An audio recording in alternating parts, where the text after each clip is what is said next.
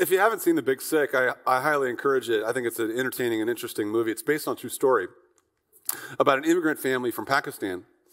Uh, Kumail's parents brought him and his brother over to America when they were kids uh, to experience the American dream. Predictably, Kumail uh, becomes thoroughly Americanized. He leaves his Pakistani roots and his Muslim religion behind. And when he finally admits this to his parents, uh, they disown him. While they eventually reconcile later in life, like I said, it's a true story, uh, the movie does end with Kumail and his parents not speaking.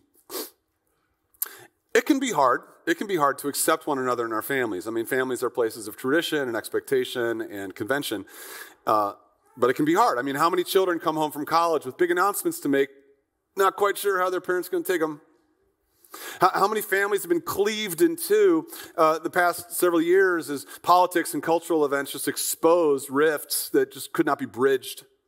Families should be places of acceptance where love overcomes whatever differences we might have, but too often they are places of, of judgment and rejection. Now, if that's true in families, how much more true is it in churches? Churches are families. Churches are gatherings of brothers and sisters bound together by blood, the blood of Christ. We, I mean, we meet together for, for dinner and communion. We, we do life together as siblings. We raise kids together. We go to each other's funerals together. Churches should be places where love and grace allow us to bridge our differences, but so often churches are not that. Like families, churches can also be places of rejection and judgment. This breaks God's heart. It is the ultimate hypocrisy and it compromises our witness to the world of a God who loves and accepts us regardless of who we are. For if we have any hope of sharing with the world a God who loves people enough to accept them, we, we have to ourselves be a group of people that can accept each other. And that's what I want to talk to you about this morning. I want to talk to you about what it means to accept one another. We're in the middle of a series here at Rooftops called The One Another's.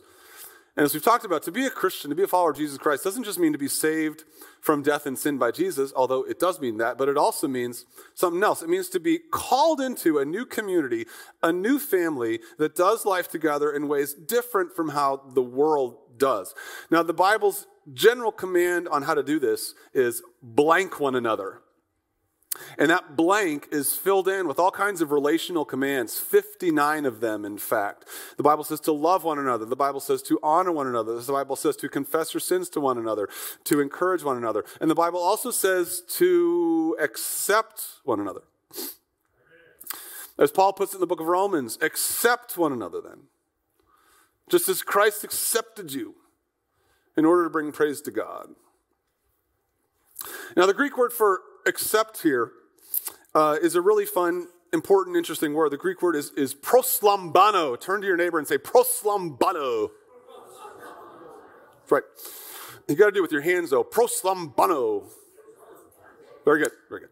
Uh, so proslambano, it, it literally means to take to oneself, to take in the arms, to, to take aside to oneself. It's oftentimes translated accept, and if it's not translated accept, sometimes it's translated, you know, to receive or to welcome.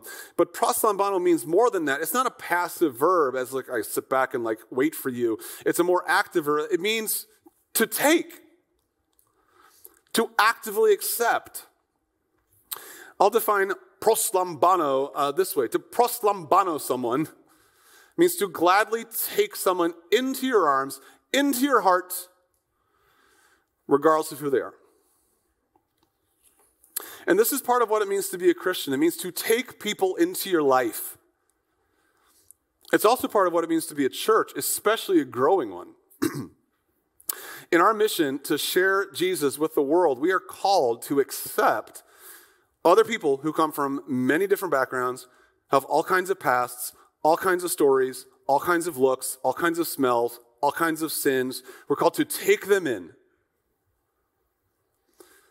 You probably know this, but Jesus himself built his ministry this way by accepting sinners. I mean, read, read the, the, the, gospel and you will read story after story of Jesus taking to himself people that the world would forget tax collectors, prostitutes, drunkards, Roman soldiers, Samaritans, children, lawyers, people with communicable diseases.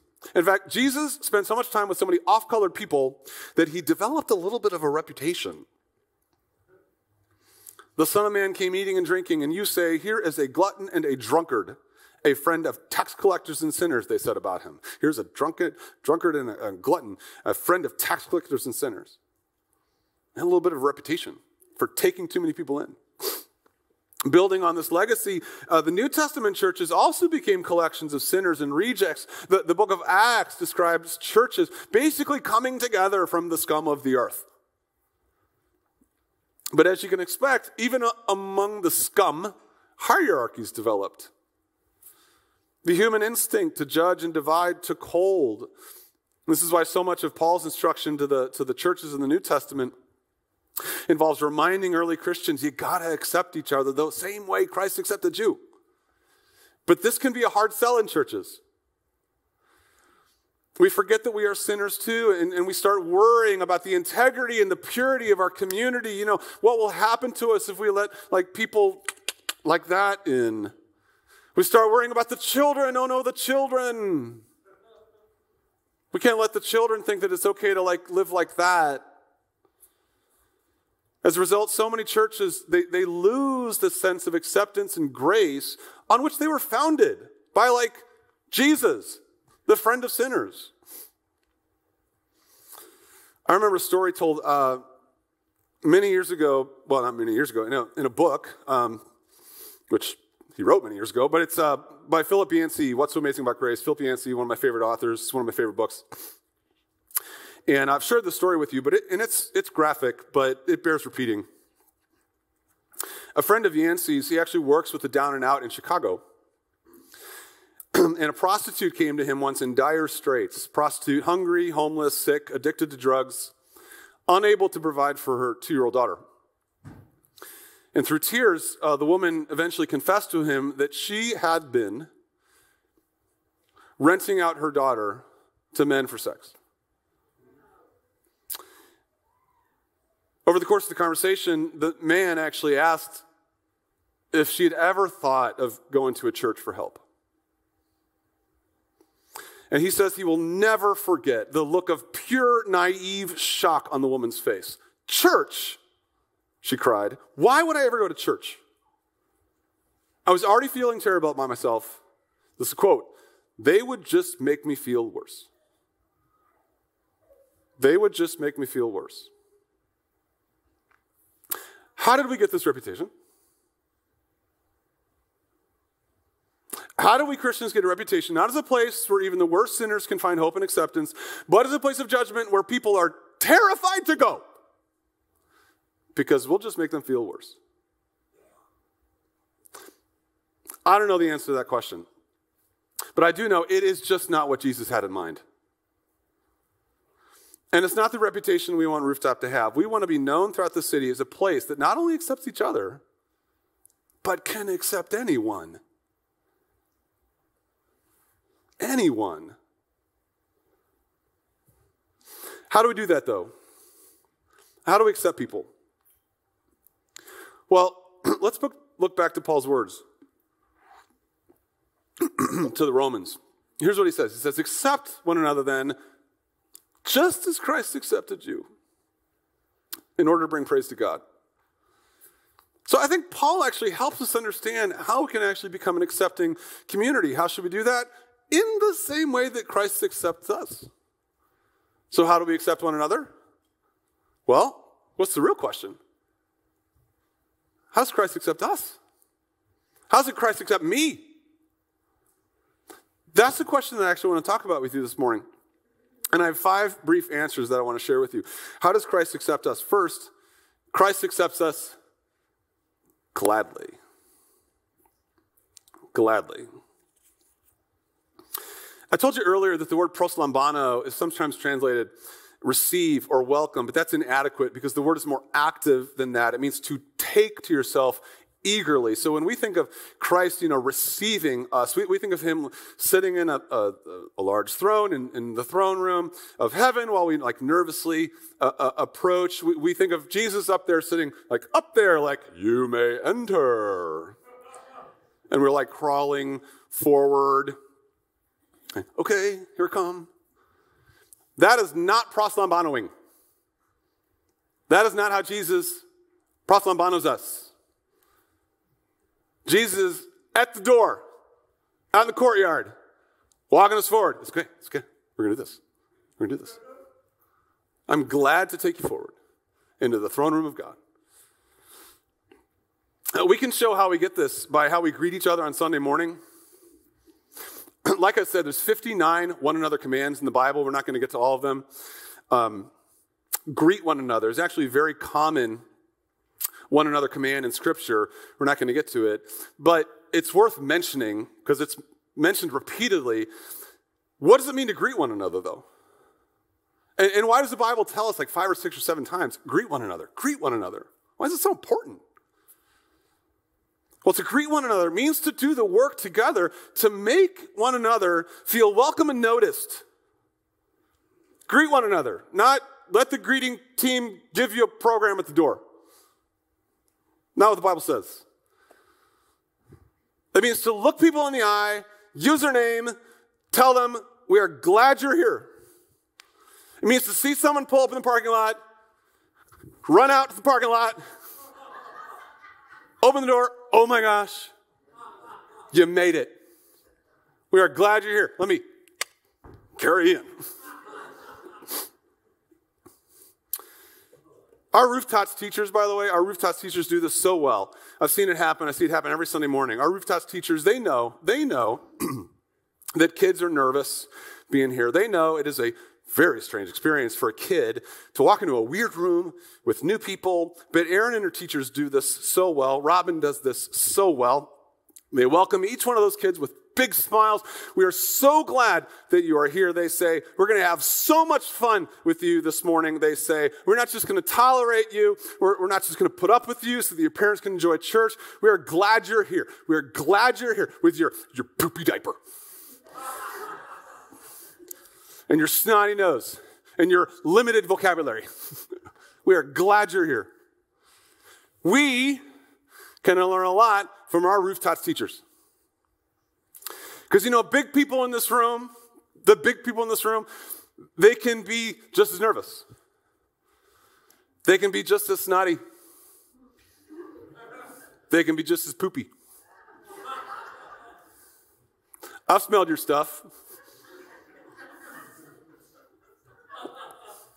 You can be just as poopy. But we are glad you're here. We are glad you're here. We're going to have so much fun together this morning. Christ receives us. Somebody just said something really funny. You want, okay, all right. I don't know where your mommy is, but your father is right here. That's right. Christ accepts us gladly. Secondly, Christ accepts us globally. By the way, this morning's message is brought to you by the letter G. Christ accepts us globally. so, the book of Acts in the New Testament tells the story of the early church. And as you might know, uh, early followers of Jesus, they were mostly Jewish. Even Jesus himself was Jewish. now, eventually, non Jews or Gentiles, they started coming to faith, and the early Jewish Christians had, had mixed feelings about these non Jewish believers being allowed into the kingdom of God with you know, their lifestyles and their traditions. So the first apostles, they had this big debate, and it became obvious to them that Jesus had come into the world, darn it, to save more than Jews. And as the apostle Peter, himself Jewish, explained, God, this is in the book of Acts, God, who knows the heart, showed that he accepted proslambano the Gentiles by giving the Holy Spirit to them, just as he did to us. He did not discriminate between us and them, for he purified their hearts by faith. So God did not discriminate between people or believers. He accepted them globally, wherever they were from. As Peter's already said in Acts, he says, I now realize how true it is that God does not show favoritism, but accepts from every nation, proslambanos from every nation, the one who fears him and does what is right. God does not show favoritism. He accepts from every nation globally the one who fears him. Now that sounds so nice, right? That'll preach, right? Sounds so perfect. Amen, we might think. Won't he do it? We might say. Here's the thing, though. Who said those words? Peter. Oh, Peter. Hmm, Peter. Maybe you know this about Peter. Peter was one of uh, Jesus' lead disciples. And uh, Peter had a hard time following through. Uh, Peter was, as they say, a, a recidivist, a little bit of a backslider. As you read the New Testament, you learn that Peter didn't always stick with his words. In fact, one time, Peter went to this church and he refused to eat with Gentile people. He thought they were too dirty. The Apostle Peter, follower of Jesus, author of 1st and 2nd Peter, the one who just said that God does not show favoritism, refused to eat with an entire group of people because they came from the wrong side of the tracks. The Apostle Paul had to confront him to his face. It's one of the more dramatic moments in the New Testament. My point is, it's easy to say that God accepts all people from all nations. But do we mean it?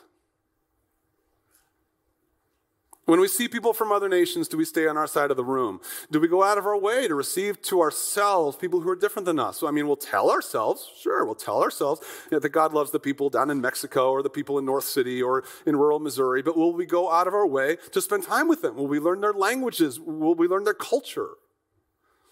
Do we mean it? It's actually my third point. Not only does Christ accept us globally, but Christ accepts us generously. What does the Bible say? What does the Bible say that God did to show the world that he accepted the Gentiles? Peter didn't eat with them. That's how he showed the world. But what does the Bible say God did to show the world that he accepted the Gentiles? He gave them a gift.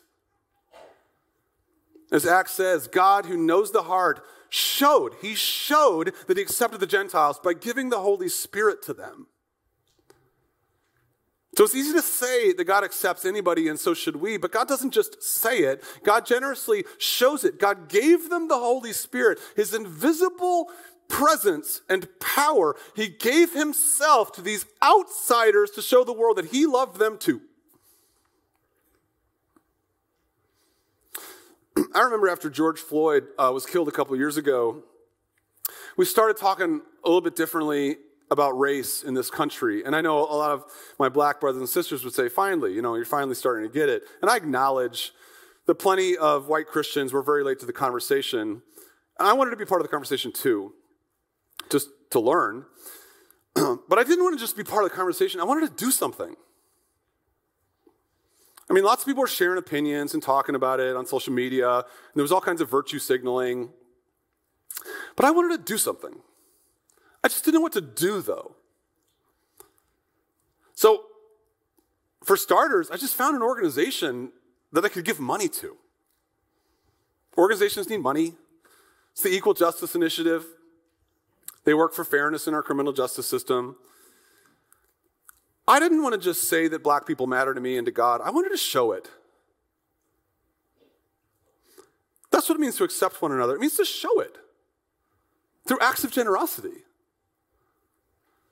In fact, maybe there's somebody in your life, in your church, in your family, who needs to see your acceptance. You might want them in your life. You might, in your heart of hearts, accept them. But do they know it? Have you shown it to them? Have you shown your child recently that you accept them no matter who they are? Or have you just kind of told yourself and reassured yourself of that? What about your neighbor? Your neighbor might need to see it. You love them, you tell them that you accept them, but have you invited them over?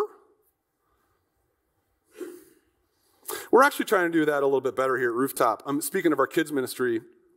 Erin and her leaders are putting together a team that can be a bit more responsive to special needs kids. It's easy to say that Christ accepts all kinds of kids, but how can we show it to them? How does Christ accept us? Gladly, globally, generously. Fourthly, Christ accepts us graciously. In the New Testament, there's another story of acceptance that I also think is pretty instructive for us. The book of Philemon tells the story of an indentured employee or slave named Onesimus who has escaped his boss or master. The Apostle Paul meets this young man and he actually sends him back to his master, Philemon. It's a complicated situation. I don't have time to get into all the details, but anyway, Paul, so Paul sends a letter to Philemon with Onesimus. And in this letter, Paul writes, If you consider me a partner, Philemon, accept, proslambano, Onesimus back as you would accept me. If he has done you any wrong or owes you anything, charge it to me.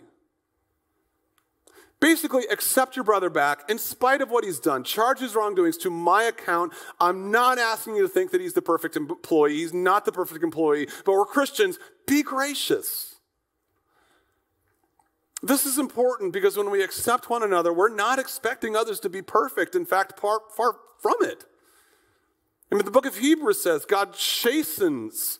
God chastens everyone he accepts as his child. We can still accept people and still recognize them as sinners who need forgiving and, and correcting. Honestly, the world doesn't understand this. The world doesn't understand that we can accept people without affirming their identities or their moral choices. I can accept you into my life and still think homosexuality is sinful. I can accept you into my family and still think that premarital sex is not God's plan. I can even have very strong opinions about those things. The world talks about acceptance. The world tells us that we have to accept people for who they are, but what they actually mean is that we have to affirm who they are. And if we don't, here's the irony the world won't accept us. Not only will they not accept us, they'll call us bigots. So the world preaches acceptance but won't accept us unless we affirm every part of who they are. But we can still think sin is sin and also love and accept other people. It's a hard balance to maintain, but it's possible. It just takes humility and love and sacrifice, it takes practice, spending time with people who are different than you. Following Jesus into the lives of people you don't know, becoming like Christ, a friend of sinners. Now, there is a fine line here, though. I don't want to get lost in the details, but you've probably noticed that we're talking this morning about two different types of acceptance. And I think it's important to distinguish between two different types of acceptance. We've talked this morning about what we might call friendly acceptance versus formal acceptance. So, all Christians everywhere are called to accept one another in friendly, gracious ways. I mean, take people into your life gladly, no matter who they are, no matter what they've done, no matter how they smell. But that is different from formally accepting someone into the body of Christ. Jesus was very good at friendly acceptance. Everybody knew that they could go to Jesus for a hug. But even God in the Bible says that when it comes to being accepted into the kingdom of God, into the waters of baptism, into membership in the body of Christ, we're talking about something else. The standards are higher. Uh, what did Peter say in the book of Acts? He said this I now realize how true it is that God does not show favoritism, but accepts from every nation the one who fears him and does what is right. God accepts everybody, but He only saves those who, through faith in Jesus Christ, do what is right. Now, that doesn't mean you got to be perfect. That just means you got to agree with Jesus about what is right, what righteousness looks like. I get this question all the time about Rooftop. People ask, does Rooftop accept LGBTQ plus people? Get that question all the time. Does Rooftop accept LGBTQ plus people? My answer is always we intend to. I mean, I will. I will. And if you feel judged by anybody here at Rooftop because of the sexuality, I want to know exactly who they are. So I can confront them for their judgmentalism. So we intend to. But I'll ask the person who asks, other question, will you accept us? I mean, anybody can come, but we're still going to preach the gospel. And if you want to get baptized, you want to apply for membership, we're going to talk about sin and repentance. Jesus accepts anybody in his arms. He loves all people, but that doesn't mean he doesn't want to chasten you as a sinner. He loves you too much not to. And ultimately, there is no acceptance in the kingdom of God apart from faith in Jesus Christ, who died for our sins so that we could do what is right. How does Jesus accept us? Gladly, globally, generously, graciously. And lastly, Jesus accepts us gloriously. As Paul writes in Romans, accept one another then, just as Christ accepted you, in order, in order to bring praise to God. The reason Christ accepts us, the reason we must accept one another, is to glorify God in heaven above. Our taking in of sinners into our lives as sinners taken in by God shows the world the love and the grace of the Father. That needs to be a reputation. Prostitutes and sinners need to understand that that's what they can expect if they show up to this church. That we will take them in to the glory of the Father. Let me close this morning by sharing uh, a, a, another story with you from another one of Philip Yancey's books. You can tell I'm a little bit of a fanboy. Book's called Church why bother? Great title. But it's a story about Adolphus. Uh, Yancey, uh, he belonged to an inner city church in, in downtown Chicago that attracted a lot of colorful urban characters. And one of them was named Adolphus. Adolphus was a, a Vietnam vet with PTSD from the war and from living as a black man in such a harsh environment as impoverished inner city, inner city Chicago. Now, Adolphus had a real hard time holding down a job. He was cast off by his family. Uh, he was in and out of mental institutions, but he was a regular at La, La Salle Street Church. Now, as the congregation got to know Adolphus, they realized that when Adolphus was on his medication, things went pretty well. But when he wasn't, he was unpredictable and even threatening. He would listen to rap music on headphones during the sermon. He would hold his hands up during the music and make obscene gestures. Uh, during congregational prayer time, uh, people would shout out prayer requests during congregational prayer time, and the congregation would respond, Lord, hear our prayer. Uh, after each request.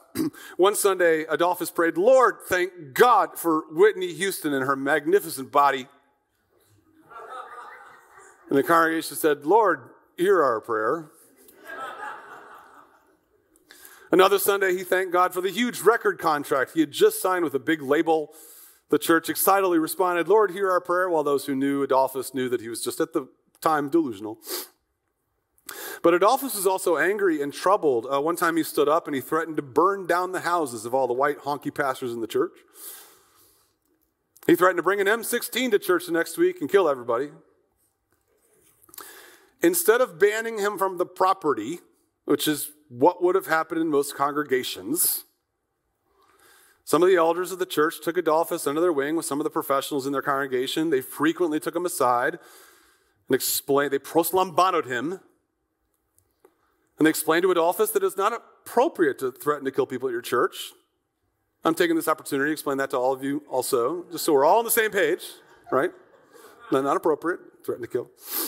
No matter how bad the sermon goes, you know, there's, there's a line. and Adolphus eventually endeared himself to the congregation. When people found out he walked five miles to church every Sunday, they got some rides going for him. When Adolphus said he wanted to play on the worship team, they gave him an audition, and then realizing he had no talent, let him play his guitar on the side of the stage on the condition that it remain unplugged. This worked fine until Adolphus started gyrating Joe Cocker style across the stage during communion. Eventually, Adolphus even applied for church membership. The elders met with him, rejected him, but agreed to work with him as he learned what it meant to live life as a follower of Jesus. Adolphus pressed on. On the third attempt, he was accepted as a member in the church. He even got married. He learned how to rely on the community to help manage his mental health. That's what it looks like to be an accepting church.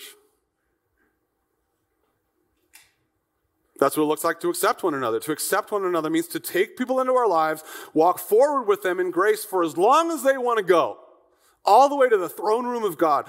That's how Christ accepts us. I mean, you need to know, you need to know, people, this morning, that we are not too much more impressive than Adolphus.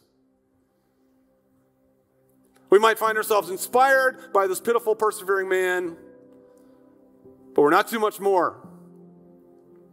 We're sinners. We don't know the half of it. We have mental health problems. We're angry. We're violent. We're deluded. We're unpredictable. We don't know how to do love. We don't know how to do community. We don't know how to do prayer. But God loves us anyway. Jesus came to earth to die for our sins anyway. Jesus took us to himself anyway. Jesus came to be our friend anyway. He did this because no matter who, who we are, that's the kind of God we worship. One who accepts us so that we can accept each other.